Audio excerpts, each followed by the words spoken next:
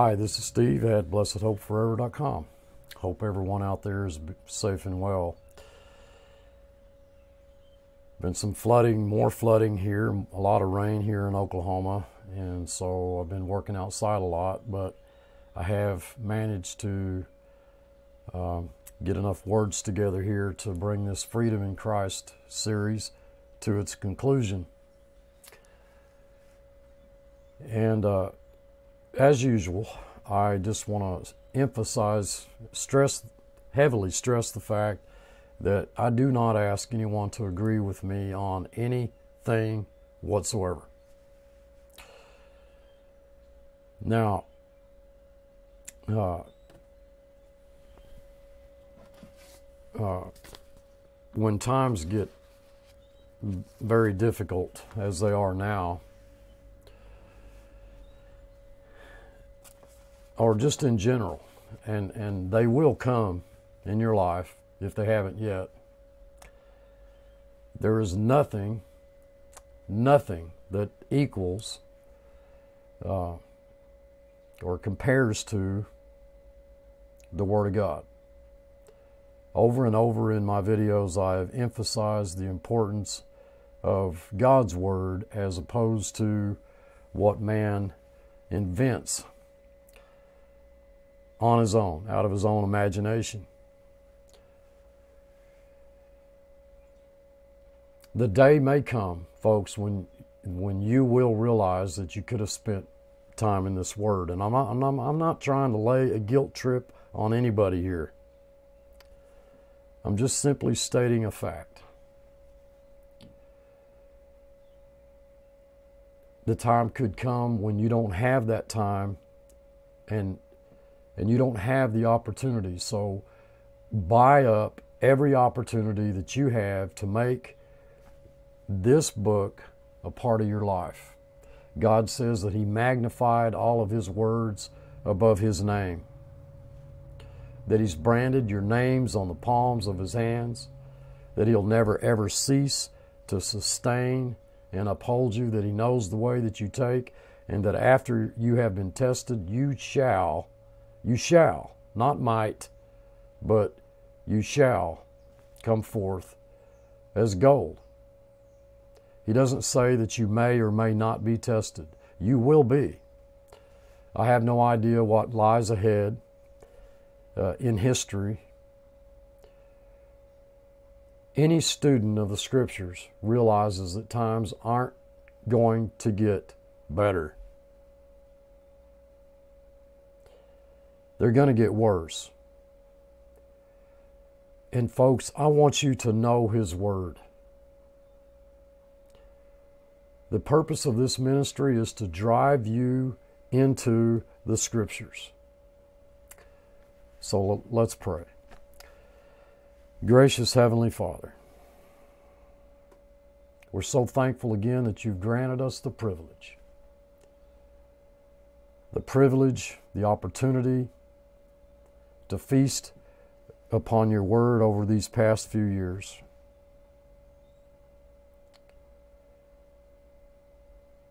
It's our constant prayer that your word be so settled in our hearts. Your word is a lamp to our feet, it's a light unto our path. And oh, how precious your word is. May the Holy Spirit be our teacher, guiding us, directing us, enlightening us to the truth of your word, filtering out all of the error, all the foolishness. For it's in Christ's name we pray.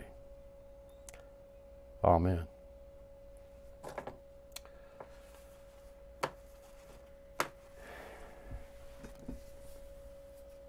Now, it's it's with a little bit of sadness that, that I I come to the end of this uh, short little series on our freedom in Christ. The honest truth, folks, is that it could go on forever.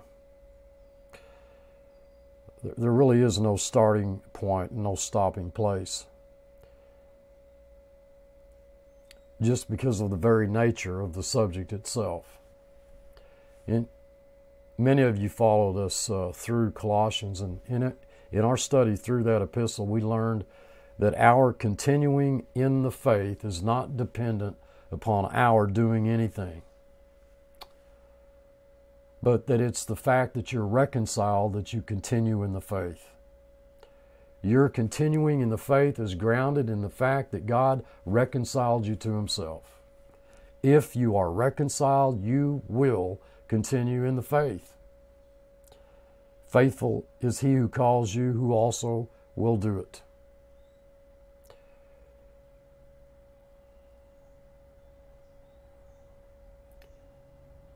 We, we learned that we were sometimes, at one time, we were alienated. We were enemies in our minds by wicked works, yet now has he reconciled in the body of his flesh through death to present us holy, unblameable, and unreprovable in his sight.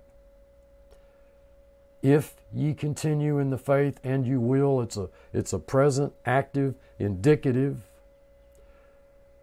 it's a first class condition, since you will continue in the faith grounded and settled, and be not moved away from the hope of the gospel, in which case you, you were never reconciled.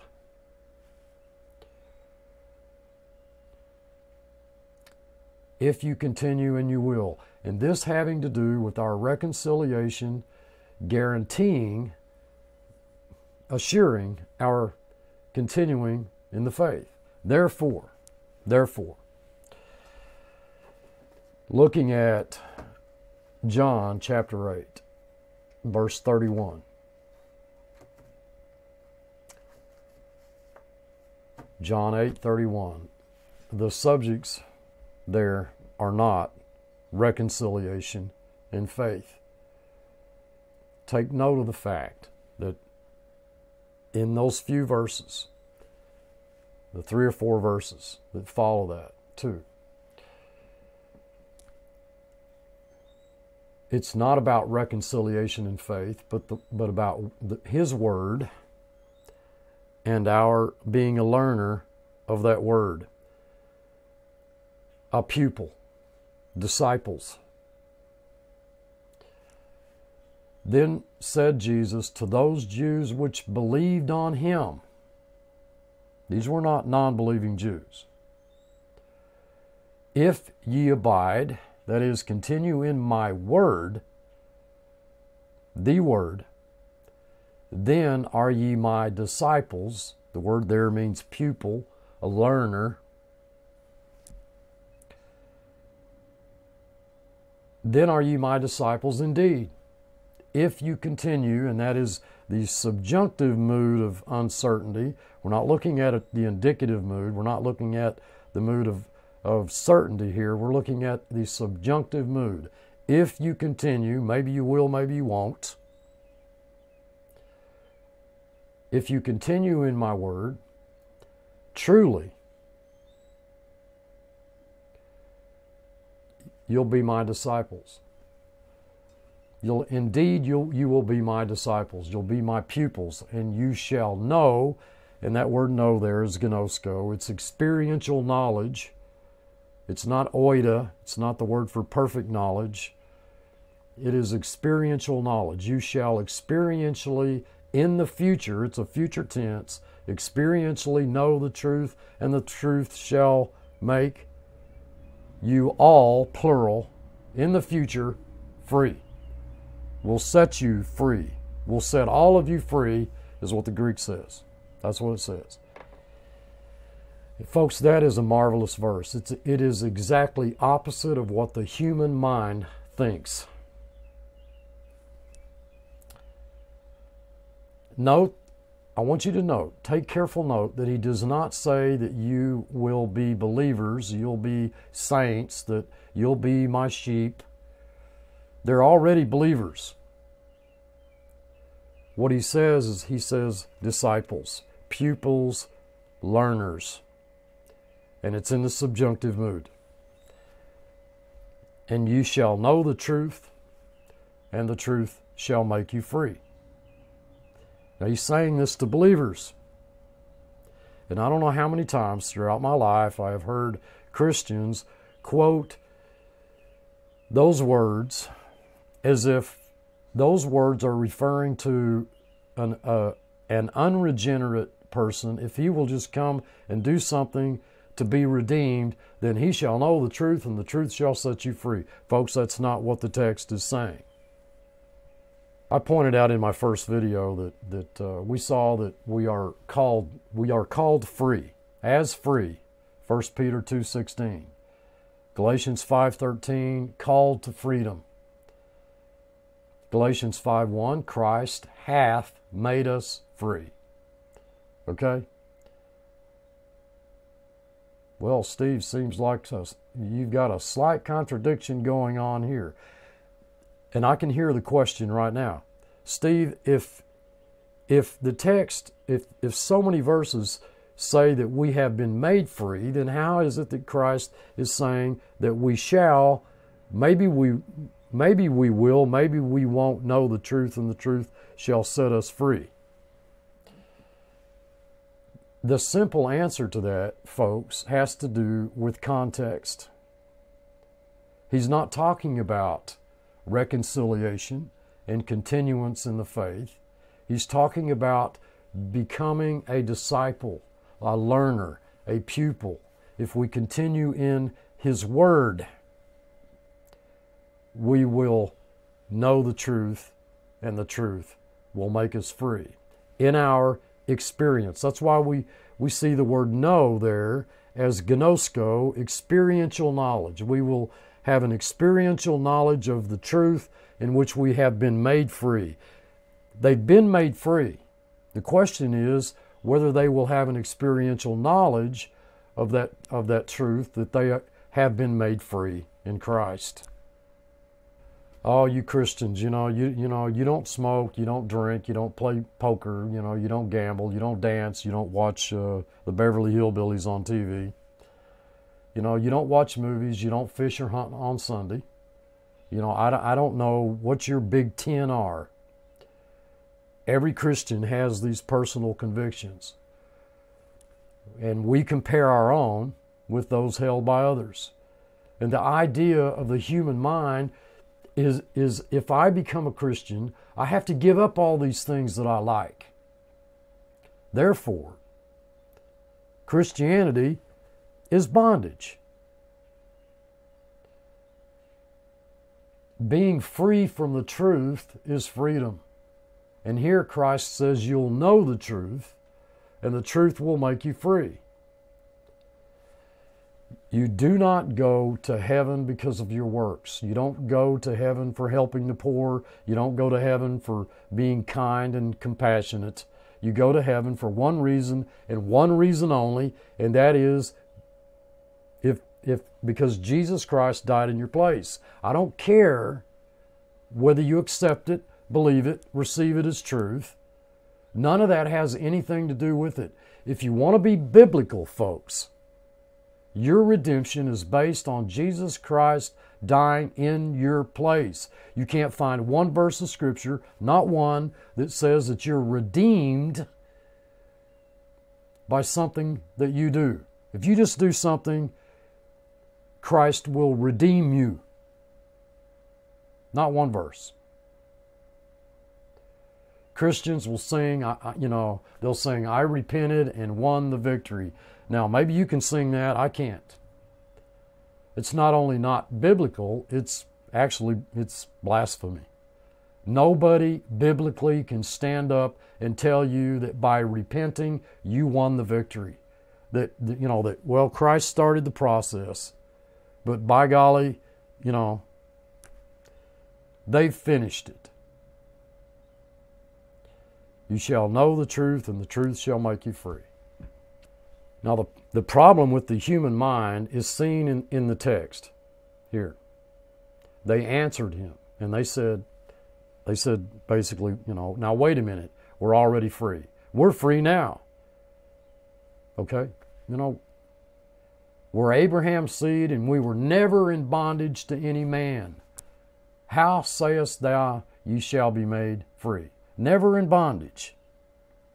Really. Really. How could they say that?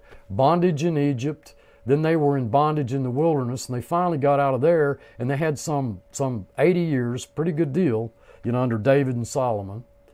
Then they soon got in trouble. They, they wound up in, in bondage in Babylon. Now they're in bondage to Rome, and the modern Christian community today has out legalized the legalism of Israel.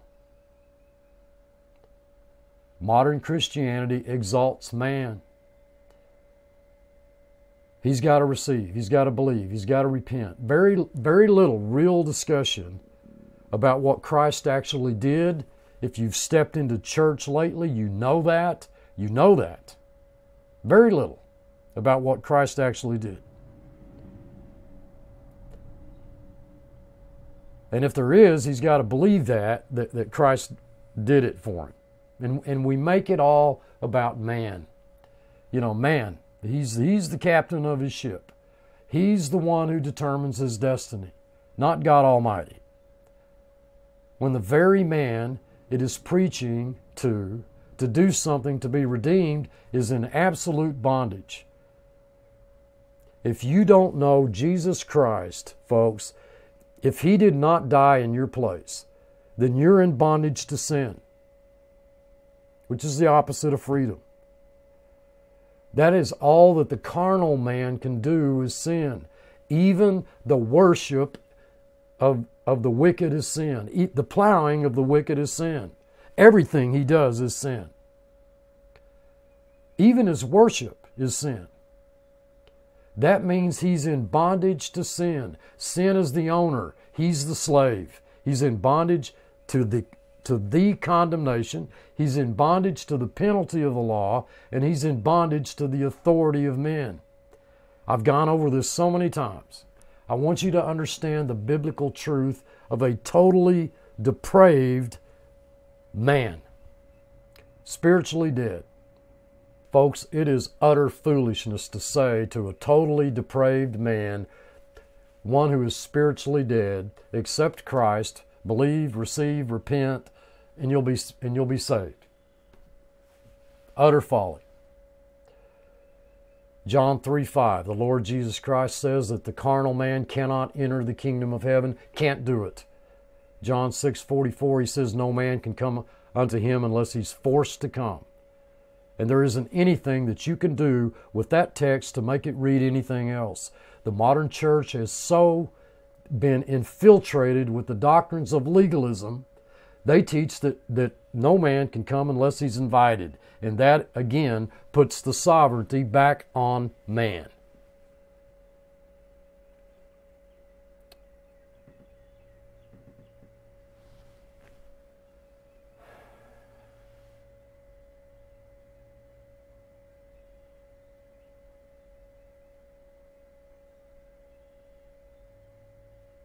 The modern church without exception.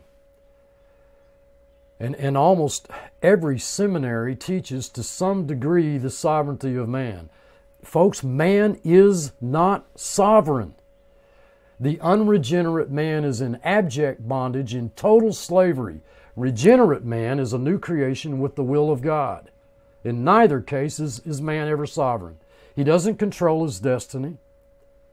If you're wealthy, God gave you that ability. If you're poor, it's the way the Lord wants you to be.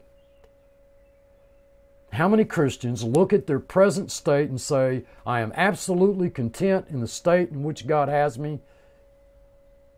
Not many.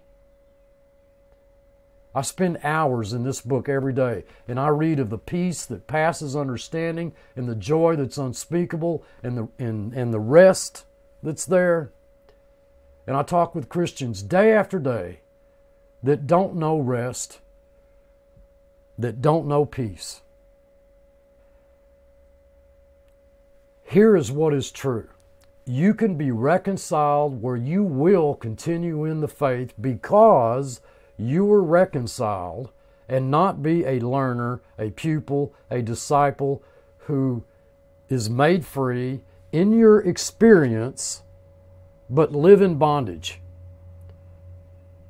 Here's what's not true if a if a totally depraved man in bondage who doesn't know Christ does something to be redeemed, he will know the truth and the truth will set him free. That is not true. Yet that is what modern evangelism proclaims. I've devoted three years of my life telling you people two things what I just said, and don't agree with anything I say.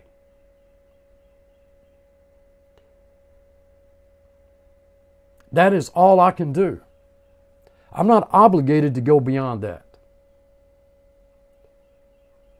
John 8:43 they have absolutely no ability to hear his word. Modern Christianity is preaching the word of God as, as if anyone has the ability to hear it, which is a perversion of the word of God. When they have no ability to even hear the true gospel unless it is granted unto them to hear. But it makes a difference what you're preaching. Okay? I, I, can hear people out there right now "Oh, Steve, yeah, you know, that okay, that must be true." That let's let's just suppose that that's true, that what you're saying is true, but you know, we, we got to preach it to all men. Well, my question is, what is you what are you preaching to all men? What are you preaching? That's my question. Are you preaching what man must do to become redeemed, which is not biblical? Or are you preaching what Christ has done? For, for those who are redeemed, for those whom he redeemed. That is, those are the individuals who will have ears to hear, and they will hear. They will hear. You don't have, folks, you can go the rest of your life never worrying about the fact that some person is not going to be saved, and especially not having to worry about, well, they're not going to be saved the reason why some people are going to go to hell is because I didn't do enough. I didn't I didn't preach enough. Because I didn't tell them about Christ. Folks, you are carrying a burden that God never equipped nor intended you to bear. His people will hear. His people will believe. His people will do so because He's redeemed them because they are His people, they're His sheep. Why don't we take God at His word? Why? Why don't we do that? They cannot hear because they don't have the ability to hear. He who hears God's word is of God. John 8 47. He that is of God heareth God's words. Ye therefore hear them not, because ye are not of God. The text couldn't be any, any, any more clear. If you're God's child, you hear God's word. If you're not God's child, you don't. John 14, 17. The world cannot receive the Holy Spirit, but you do because he dwells in you. And that, that's something. That's really something. To receive somebody already dwelling in you. Modern Christianity says if you receive him, then he'll dwell in you. He's already dwelling. That's why you're receiving. Romans chapter 8 For they that are after the flesh do mind the things of the flesh, but they that are after the Spirit, the things of the Spirit. For to, to be carnally minded is death, but to be spiritually minded is life and peace. Because the carnal mind is enmity against God. It is not subject to the law of God, neither indeed can be. So then they that are in the flesh cannot please God. 1 Corinthians 2:14 a natural man can't receive the things of the spirit of God. Yet modern Christianity beseeches the natural man to receive the things of God. 2 Peter 2:14 he can't cease sinning. Romans 3:11 there is none that even seeketh after God. Oh, if you'll just seek after him. Folks, how did we stray so far from this book?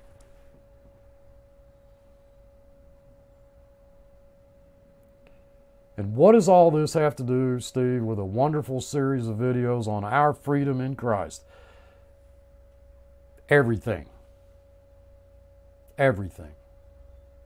Folks, these Jews who believed in him thought that they were free, yet they're in bondage. You, you want to you wanna hear something odd, really odd?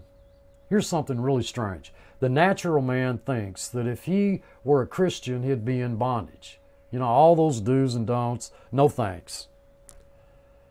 The believer thinks that if he lives a Christian life based on human merit, he won't be in bondage.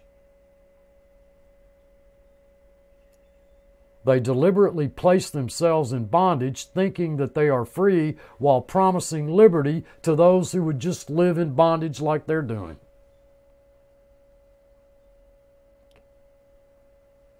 How many Christians realize that God isn't cleaning up the old man? Not many. Not many at all. Very few, in fact. Most believers today are whitewashing it, trying to make it better and better in their weak way, weak, pathetic way. Oh, I'm really trying, Steve. I, really am. Uh, day after day, I, you know, I get just a little more sanctified. I, I get a little more holy every day because I'm I'm really working hard at it. And I tell them, I tell them what this book says that they are as fully righteous as Jesus Christ, holy, unblameable, unreprovable in His sight, that their new man can't sin, and a hundred other verses of solid biblical truth concerning who they are in Christ. And yet I still hear, well, yeah, he sure started it, Steve. I, he started it, but I'm, but I gotta, I gotta, I gotta finish it, I, and I'm working hard at it. You know, I don't sin as much today as I did a year ago which I find really strange because I do. I think one of the greatest shocks in my life was to read Lewis Sperry Chafer, who wrote volumes on, on systematic theology, well respected theologian, who said that when he was when he was 83 years old, said he said that the sins of the flesh were greater at 83 than they were at 19. Folks, your old man is not getting any better. And the fact is, whether you want to believe it or not, is that modern Christianity today's their its primary focus is on trying to make better what is only getting worse. How many people are telling you this? I'm going to tell you this. Yeah, it's a lonely walk, folks. It is. God intended it that it be. What do you want for your life? You want to you want to go the broad way? You want to follow the masses? Or do you want to walk the narrow way and stick to the truth of this book, no matter what other people say? That's the greatest challenge you'll ever have in this life that you live here. Verse 35 And the servant abideth not in the house forever, but the Son abideth forever. The servant is not in the house forever, but the Son abides forever. Your old man is the slave of sin, and it won't abide in the house forever. Praise God. Thank you, Jesus. Hallelujah. You, you ought to shout hallelujah at that verse. People want the old man to abide forever because they know nothing about the new man. They want the unregenerate to abide forever. That is not what the verse says. You in your old man were a slave of sin. We were crucified with Christ. When Jesus Christ died in your place, he made you a new creation a new creation.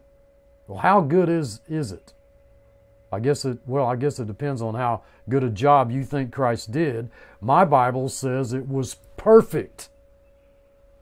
Whosoever is born of God does not commit sin, for his seed abides in him and he cannot sin. He has no ability to sin. That's the new man. The new creation that's born of God. That's the one that abides forever. The new man that his seed Jesus Christ abides in. Galatians 3:16. Now to Abraham and his seed were the promises made. He saith not, and to seeds as of many, but as of one, and to thy seed, which is Christ. Not seeds plural, but as of one, and to thy seed, which is Christ. You know, people love quoting John 3:16, but they seem to know little about Galatians 3:16. You ought to do a study sometime on all the 316s.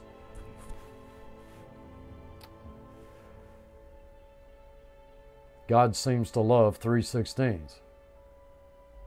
And with that, folks, I have to end this series on our freedom in Christ and move on to Titus verse by verse. Folks, I love you all. I truly do. Until next time, thanks for watching.